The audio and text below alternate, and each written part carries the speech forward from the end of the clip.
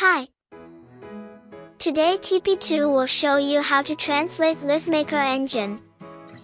LiveMaker is a freeware engine that is often used by indie visual novel creators. Its advantage is that it's very user-friendly for beginners who don't know programming. That's why LiveMaker is very popularly used for lightweight visual novels developed by individuals.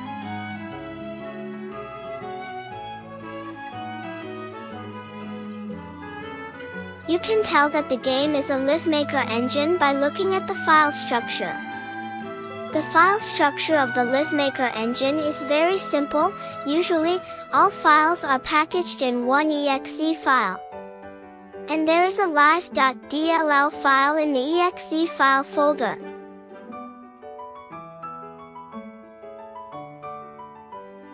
PyLiveMaker is included with the LiveMaker add-on you should be able to use it without installing Python.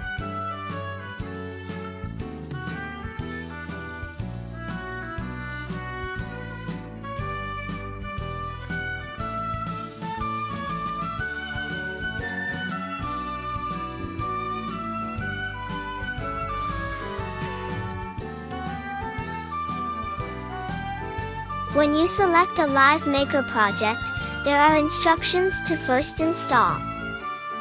Follow the link provided for instructions, and type the script line in the command prompt in administrator mode.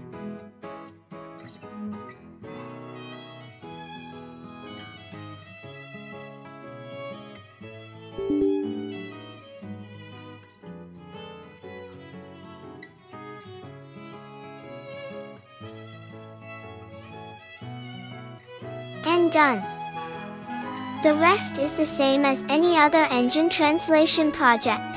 Happy translating!